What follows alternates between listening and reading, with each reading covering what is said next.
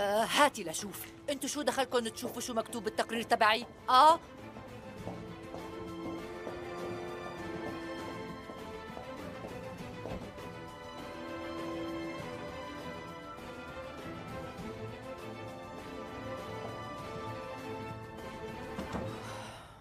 ألف الحمد والشكر لك يا رب. أمي؟ آه. شوفي لك ليش شقيتي تقرير الدكتور؟ أه لأني ما بدي أتضايق أبدا هالدكاترة ما بينفعوا غير يسموا بدن الواحد شو مكتوب بهالتقرير أمي؟ شو بده يكون؟ أه يعني نتيجة تحليل دمي الكوليسترول ونتيجة السكر إذا طالع ولا نازل دخيلك ما لها معنى أبدا بس هالتقرير بخصني إلي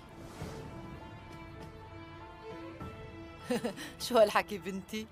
أه يعني أنتوا إلا ما تعملوا لي مشاكل كل يوم شو صاير لكم لك بنتي؟ بس مكتوب اسمي عليه.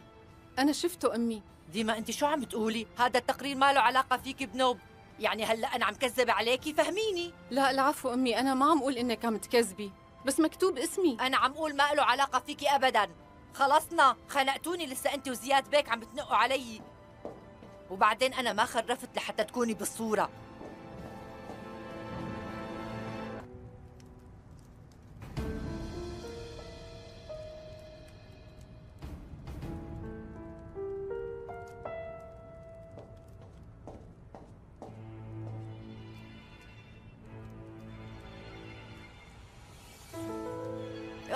أمي؟ آه.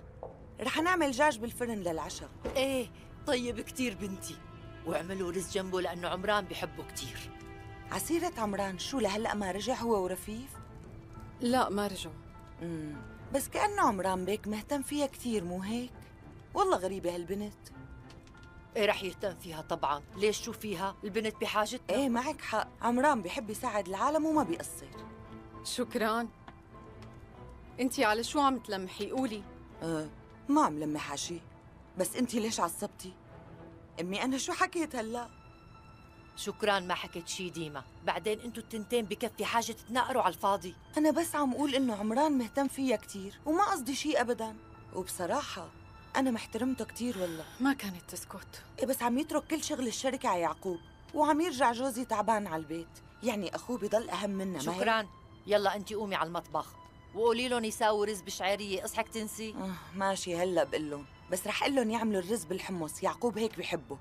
لأن عم يرجع تعبان وعلى الأقل لازم ياكل له شيء لقمة طيبة.